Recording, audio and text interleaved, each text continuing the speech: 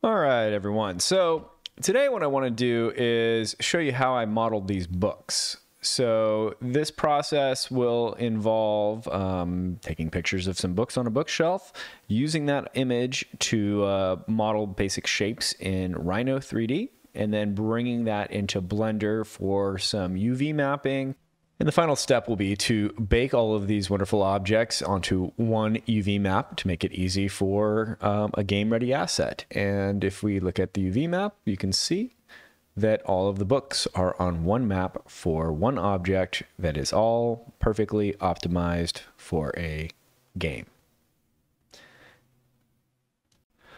Okay, here we are in Rhino, and we are ready to start modeling the books. So I want to isolate the bookshelves. And I also want to set my construction plane, so under this tab here, to this wall. Okay, so now I will be modeling kind of against that wall there. So I'm going to isolate this object.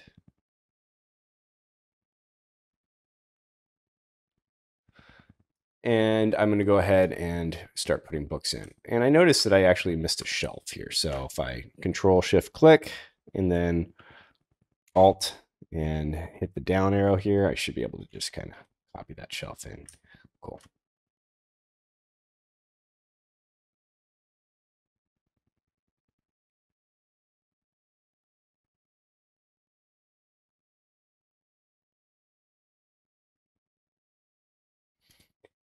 Okay.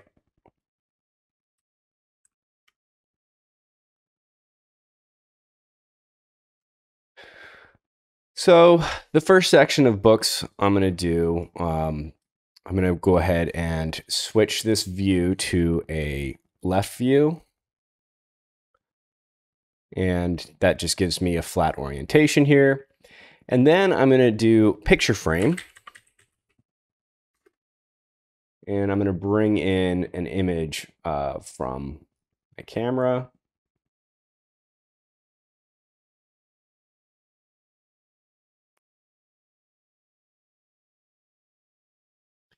And I'm going to kind of just eyeball it.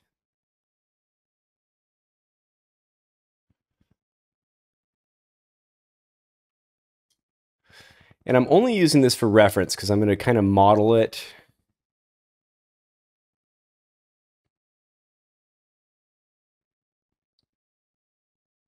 So that it fits my space here. So, um, and I'm just going to take a polyline and I'm going to turn off all my snaps and I'm going to just trace what I feel like is the shape of these books.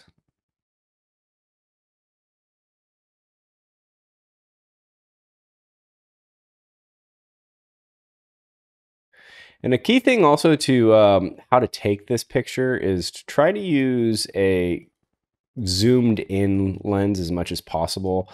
Um, the more uh, of a wide angle lens on your camera that you're using, uh, the more perspective you're going to have, which is going to kind of warp the overall shape of it. And it's going to make it have more work to do in Photoshop to really flatten this image out.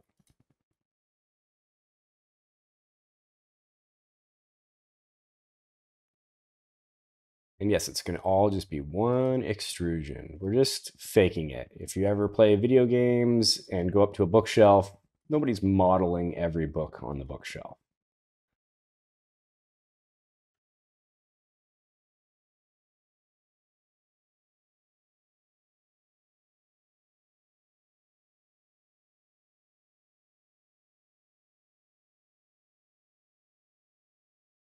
And just kind of pull it over here and then up.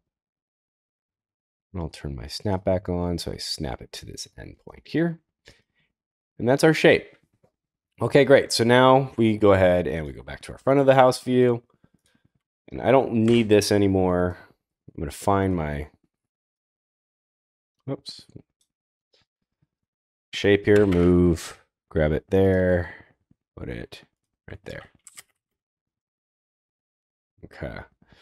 Then I'll scale it down a little bit so it feels like it's fitting where it should. And I've got the books pulled up on uh, on a separate page over on the right so that I'm basically trying to keep track of what I'm doing.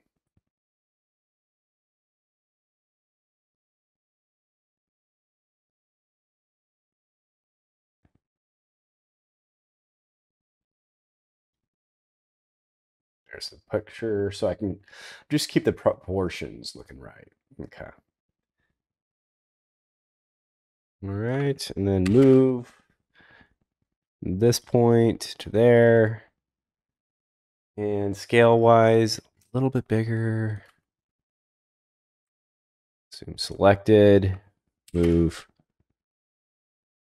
this point here. I'm going to move it to like turn off my center. Wants to grab my center. I don't want it. Just use a near. Okay. And then I want to move this to there. All right. And then extrude this back into space.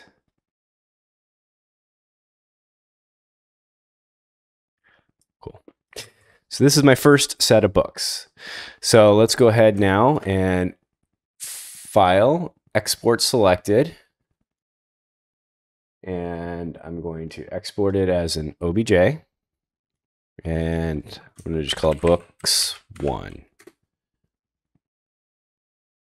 And fewer polygons is fine because it's a flat thing. And then okay. Okay, let's go ahead and bring in our OBJ file. So import OBJ books.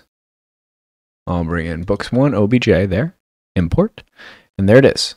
So um, I'm ready to go here. Let's first things first, we go to UV editing.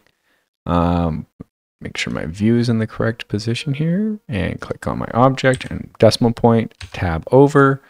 And I can see my UV map here is kind of chaotic. So let's first add a, go over, tab over, add a modifier, decimate. Since this is a nice planar object, I'm going to decimate it planar and apply and tab back over and our UV map looks a little bit cleaner.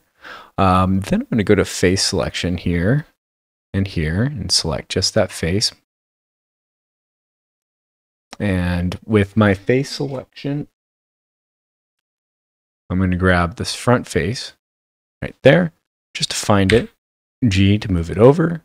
And then I'm going to select all of these and scale it way down because that stuff doesn't matter. G to move this over here. R for rotate. And I'm going to rotate it around 90 degrees, or I'm sorry, 180. Enter. Then I'm going to scale it up about here. And I'm going to scale it on the y-axis right to there. So I just want to make it take up as much space with the UV map as possible. And then with that face selected, I am just going to export the UV layout as books one. U, UV. Okay. And I'm putting it uh, right in the proper place. And let's see, right there. Okay. And let's go ahead and open that file up in Photoshop. Okay, so we go ahead and now let's open this up in Photoshop, Adobe Photoshop.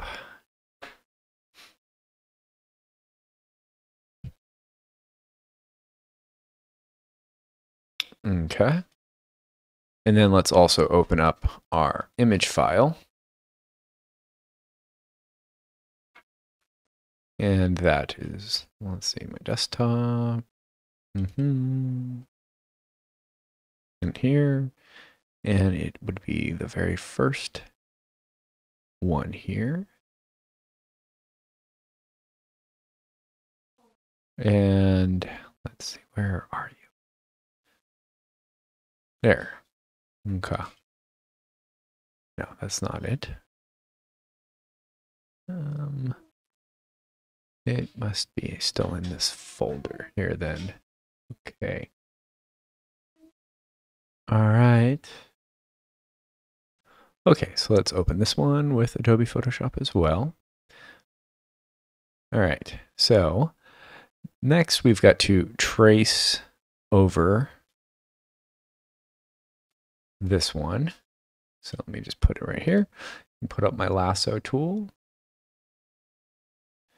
And I'm just going to trace it. So go from here.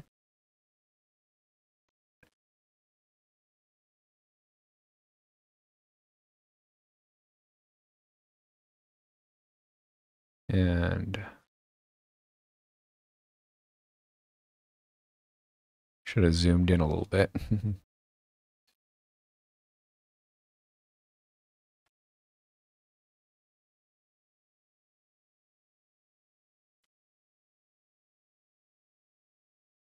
And then we're going to grab all this.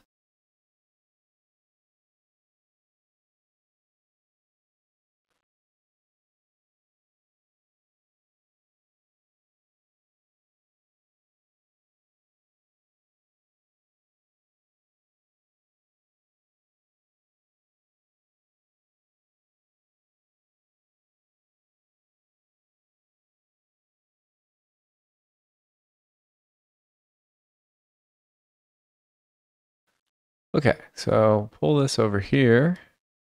Uh, switch back over to this. Grab this with V, put it right there. Minimize that, get it out of the way. And then I'm going to go Control T to transform it. And I'm going to scale it way down.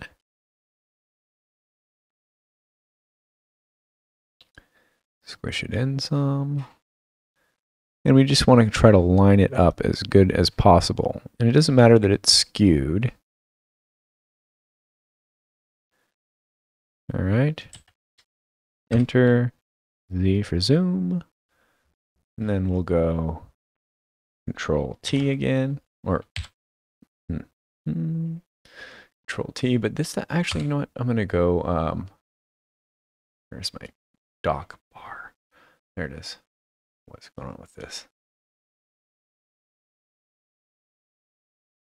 Okay. Edit, transform. We'll go free transform. Free transform will give me a little bit more. Actually, let's do edit, transform, and we'll do uh, warp. So that gives me a little bit more that I can play with here. So I can kind of pull out the middle, you know, just trying to line it up.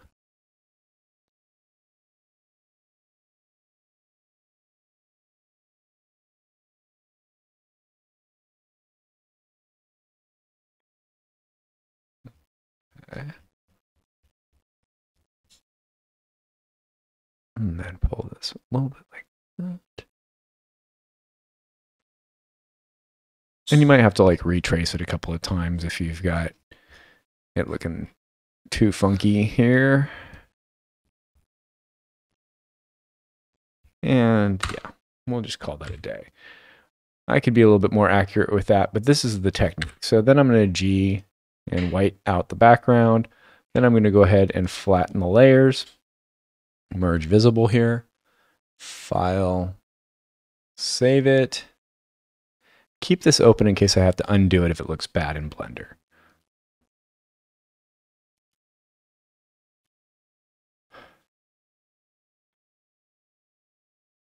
All right, so now all we got to do um, is go ahead and import the image as our UV. So we go over to our, uh, get out of edit mode into, let's go to modeling and option to object mode. And then we're going to go to materials, um, click here, go image texture and open, and then Open the book UV. All right. It looks good enough for uh, for for government work. um, I might actually want this to be a darker color in the background, but I'm not too concerned with that right now. I can play with that material later on. You'll see in this process what we're going to do is we're going to basically repeat that step uh, for all of the books um, all the way across and over, and we'll get all of those into position. Um, and then I'm going to bake them into uh, two UV maps so that the, all these objects, all the books are going to be one basic object. So uh, I'll come back once that is complete. All right, so now what we're gonna do, we've got these all imported and looking great. Um, I've done all of the UV mapping, and the next step is actually I want to um, to bake all of these onto one object. So uh, selecting everything one at a time. Mm-hmm, mm-hmm. And then once it's all selected, Control J to join them together. Okay. And then we're going over to our simple bake. Over here, and we're going to clear, and we're going to add the new joined object. We're only doing diffuse.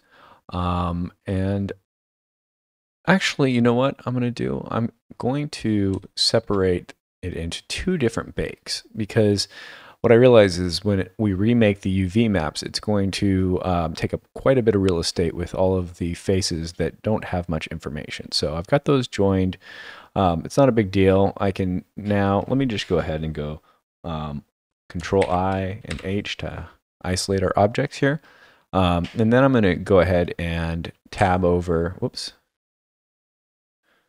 What did I do? okay, tab over and go to face selection and select just these faces.